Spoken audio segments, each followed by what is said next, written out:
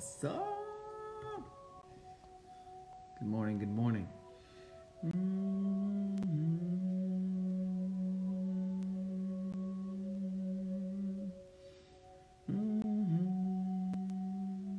What's up, Emrit? Big brother, what up? Uh, let's see. Found this really cool uh, filter today, man. Let me see if I can find it. There it is. It just brightens everything up. I find the last few IGs were so dark. I'm just gonna put on my headphones. Good morning, good morning. Good morning, good morning, good morning. Good morning, good morning. Let me know if y'all could hear me. If you could hear me, drop a little emoji, drop a little thumbs up, drop a little heart, uh, wave, say something to me. Uh.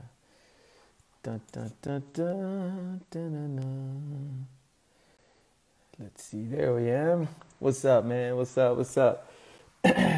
Markham Yoga, OMG. I better get into my Zen moment. I'm doing it. I'm doing it. Good morning, everybody. This is day seven of the daily, daily talk. Those of you that are first time listeners, first time watchers, thank you so much for stopping by. Uh, we get to chat every single morning about different topics that focus on money, that focus on emotion, that focus on uh, moving a step further than where you are today. For those of you that don't know me, my name is Sats B, Sathish Bala. I've been doing this for a really long time now, just sort of, you know, building out these uh, conversations and, and things like that. Um, this show is called the Making Money Move Show. And what's cool is, uh, what up, Emmett? Good morning. Um, we talk about money from many different perspectives, not just how to make it, but also how to make sure you understand how you're making it, what your relationship with money is.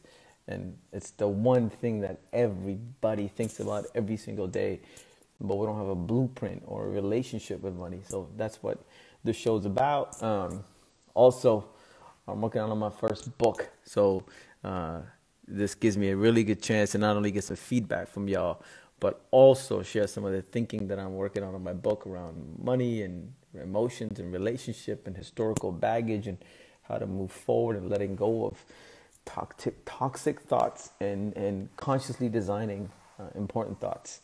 Um, it's every morning, man. Every morning we're live from from uh, 9 a.m. to 9:30. Or sometimes I have a guest. Sometimes it's just me. Today is just me. Uh, tomorrow we have a great guest, my buddy Ara, who's a CEO of Tamil Culture, but also an incredible entrepreneur. I can't wait for you guys to meet him. Uh, but it's every morning, Monday to Friday, Emmett and I have been doing it straight for seven days now, and I'm so excited.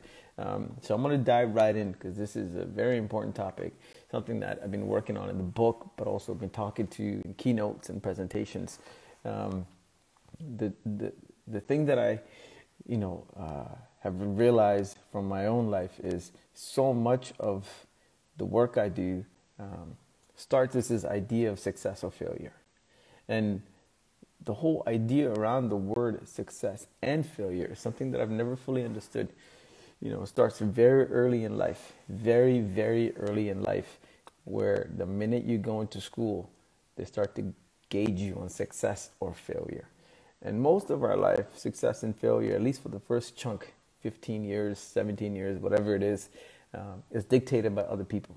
The teachers have a grade score, you have to hit it or you don't. Your parents base some very interesting decisions about you at a very early age based on their academic results. And then we build this baggage of emotional weight around what is failure or what is success. I was a dumb student, a really dumb student by choice, meaning I never cared about education until much later in life because I didn't know what the hell it was for. I didn't know why I was studying the things I was studying. I didn't understand why I was going to uh, listening to teachers that didn't really understand what was happening with me. I was one of 20, 30, 50 students in a class. I just never understood the model. And this notion of, especially like I grew up in Singapore, So you have to be up by 6 a.m., 6:30, be out the door by 7:30 in the morning for school. Never really understood it. What am I learning so early at 7:30 a.m. when I'm 10 or 11 or 12? Um, I get, you know, we're dis- we're creating discipline. I get that part. We're creating routine. We're creating good habits. But I never really understood it, and because I didn't understand it, I wasn't a good student.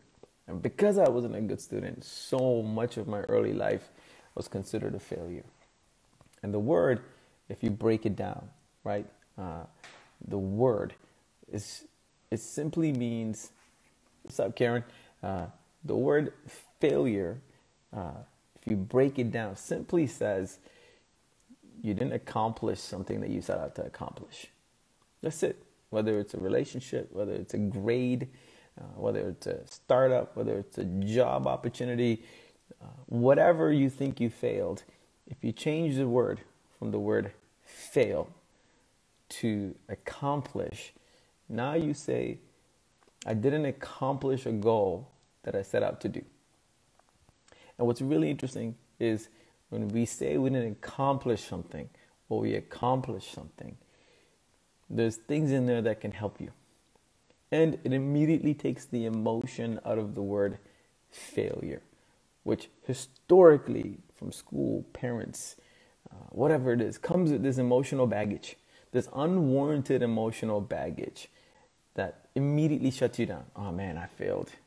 And think about it. We never say we failed at the micro level. We say we failed at the macro level. Like, I suck. I failed in business. Well, maybe you didn't fail in business. You weren't that good in sales, or your strategy was off, or you weren't a good leader and your staff left you, or you weren't good at client service and your customers left you. But you didn't fail in business. You know, I failed in school. No, maybe you sucked at calculus and geometry, but you're amazing in architecture and art and design and computers. But this notion of failure is such a big emotional word that a lot of other things in your brain is shut down. And when it shuts down, you miss the lessons, you miss the opportunity to evolve, you miss the opportunity to learn from yourself. And that is the thing that I've been thinking about as I've been working on this chapter. How do we better define failure and structure or failure and success? How do we find a balance between the two? And how do we connect them so that the more you fail, the more you succeed? The more you succeed, the more you learn about yourself. And in both cases, you're accomplishing things you want to accomplish in life, whatever it may be. I'm reading my notes.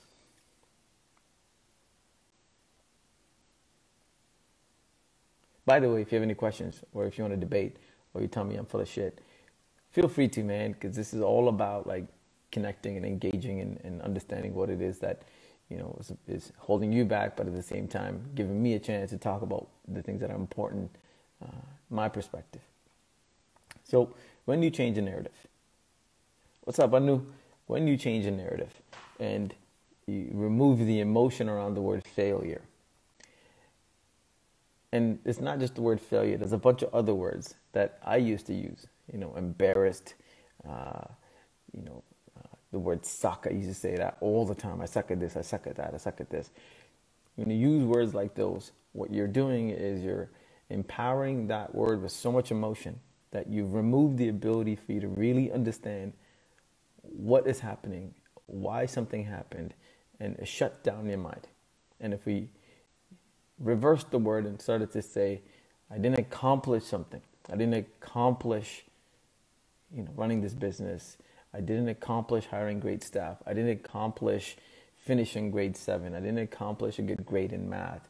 When we start to use the word accomplish, it starts to change the way you look at the outcome, which is really all failure and success is meant to do, is to give you some sort of a measurement that you can use to either continue to, to keep doing something or decide not to do it.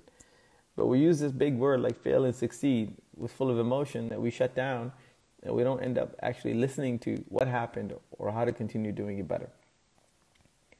For me, uh, my early, early startups, like we're talking 2000, um, I was so afraid of failing.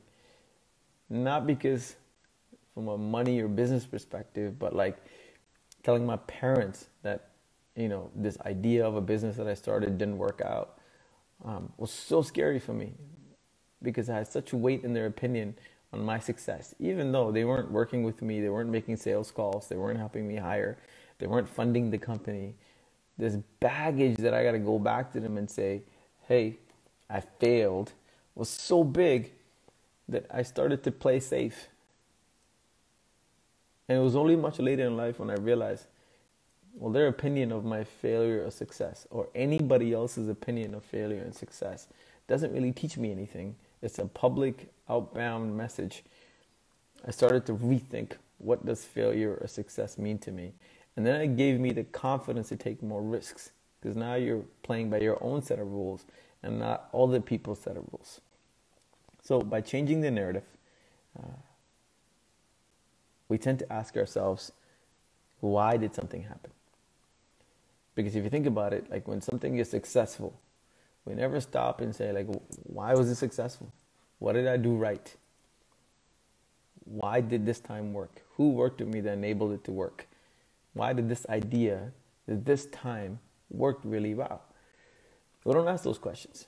But when things fail, we tend to deep dive into an emotional baggage and a train wreck of all these questions like why me and why did it happen to me and you know uh, was it God's fault was it the economics was it there's so many variables that we don't understand when things go right or wrong or things get accomplished if they don't that we just get stuck in this like negative train uh, but we never do the opposite when we're succeeding because the emotion is so much higher like oh my gosh I got something done that we forget to deep dive into it.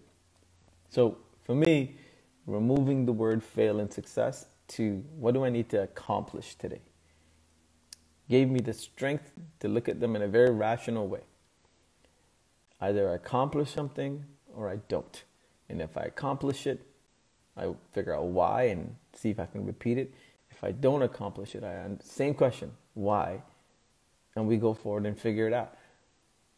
But if you take anything away from today, and that's right, Emmett, uh, sometimes things just happen and you don't have a reason for it. And so creating this massive, massive, massive weight of fail and succeed, it's really, really challenging to learn from yourself.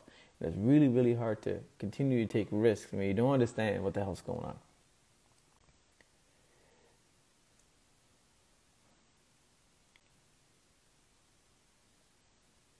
So I try to find the balance. I don't know if you guys, when you were younger, ever played that seesaw game. You know, when somebody sits on this side and somebody sits on this side, and then your job is to go up and down, right?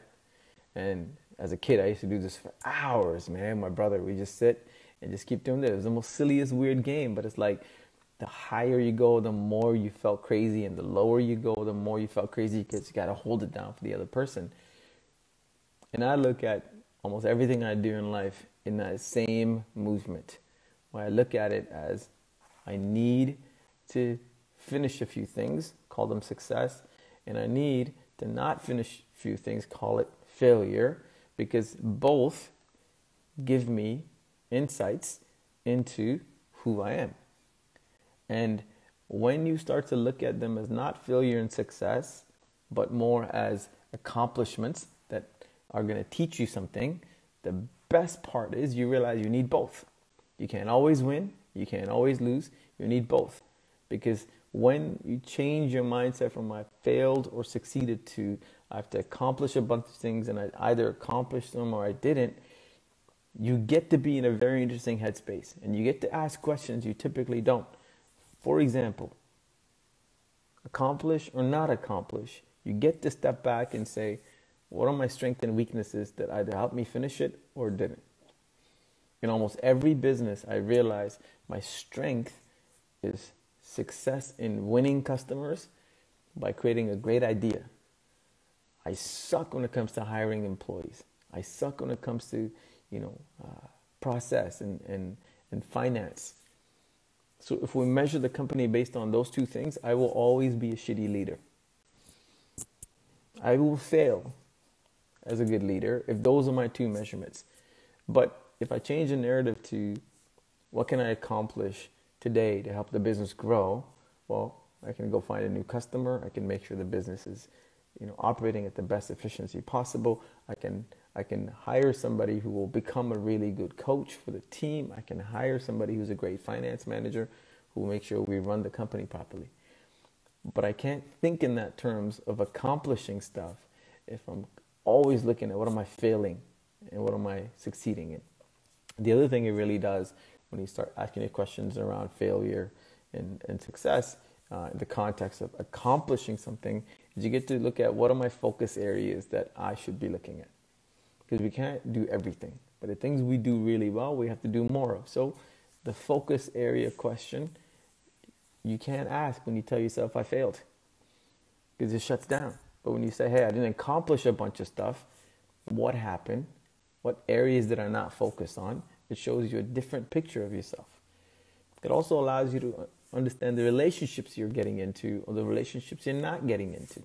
For the longest time, I never hired anybody because I was a shitty leader, but it also uh, made me not grow as fast because I was taking on too much. So for me, uh, understanding when to bring people into my life became a point of strength versus a weakness or a failure when you look at things that you're accomplishing every single day and the things that you wanted to accomplish but you didn't do it, it gives you a really interesting window into yourself. Because not everything we get excited about actually gets us excited. Meaning, I might be really excited about starting a bow tie company because I love fashion. But it doesn't mean I'm going to be successful in it because I don't have the passion once you get past the, the, the, the early level. Begum, what's up? Um, and that's what you know, this question of what did I accomplish allows you to do. It allows you to give you a window into yourself to be like, what makes me really tick? And the funny thing is, whether you successfully accomplish some goals or you fail to accomplish some goals, by using the word accomplish and not fail or succeed, um, you tend to really think about like, why did something happen? How can I make it better the next time? And then you get to constantly de- decide which skills you want to invest in, which uh, things you want to repeat, which things you want to avoid. And you can't do that, and you can't do that until you diffuse diffuse the emotion around the word failure and the word succeed. And the funny thing about this kind of mindset, at least for me, without MV, um, is the minute I start to think about everything I do from a sense of accomplishment and not will I fail or succeed? Because um, success is a is a is a uh, is, is not the right metric because you know probably like me you guys probably have experienced many things that felt like an immediate success but over time you realize man that was actually not a good thing to be successful at. It actually hurt you or it set you up for failure because you weren't ready for something. Um, so much of my early career in business, what felt like short term success actually hurted us because once we hit some success, we forgot to pay attention. You get 10 clients and you think, oh my gosh, I got 10 clients, I'm successful. You realize you're not ready for 10 clients. You were barely ready for three. And you end up losing in the long run. And so for me, the idea of accomplishment gives me some sense of focus, gives me a way to combine my fear of failure and my need to find happiness and success into one formula. And what's really awesome is now you run towards everything you're afraid of. Because when you know you can't really fail and you know you don't really succeed, all you're doing is accomplishing a set of goals that move you one step closer to the lifestyle that you want or the things that you want or the relationship you want, then you want to run towards that goal as fast as you can. Because the sooner you get there, the faster you accomplish a few steps and ask these questions of what worked and how it worked and why it didn't work and how do I make it better, the sooner you get to the next level. And so we're not afraid. We're not afraid to run towards danger. We're not afraid to run towards risk. We're not, we're not afraid anymore because you can't really fail.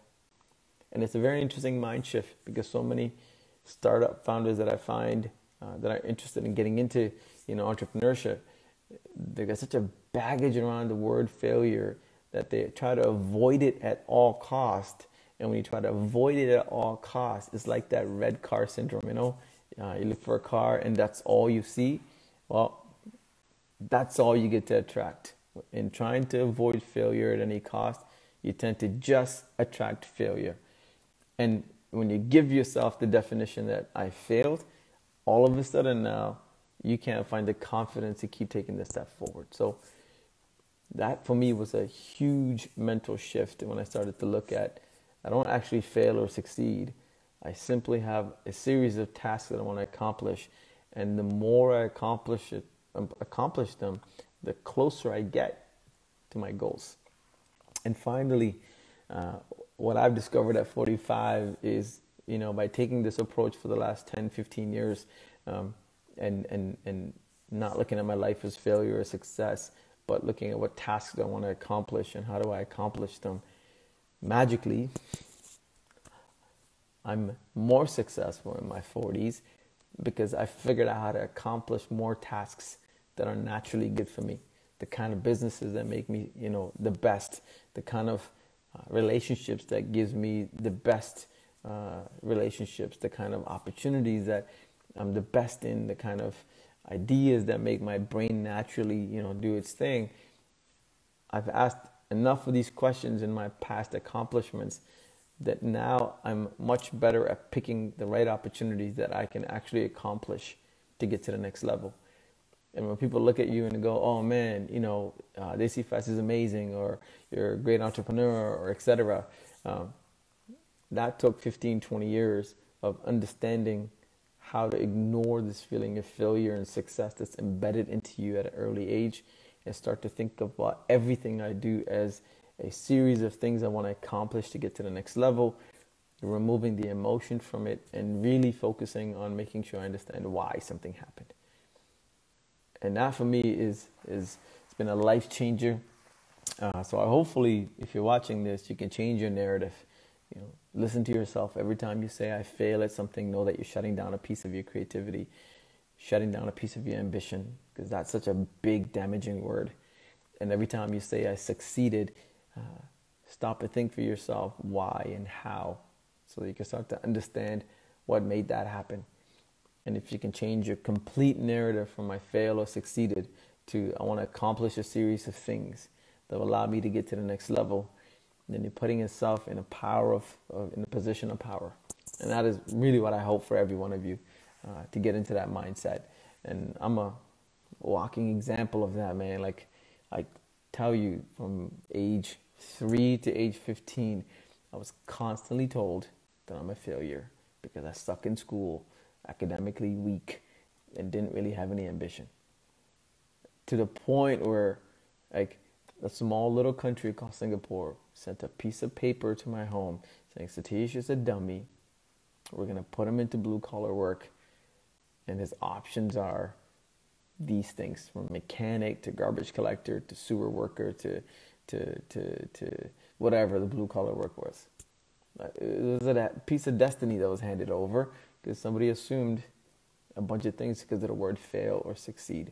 And here I am 45 every single day accomplishing things that get me closer to the next step I want to be.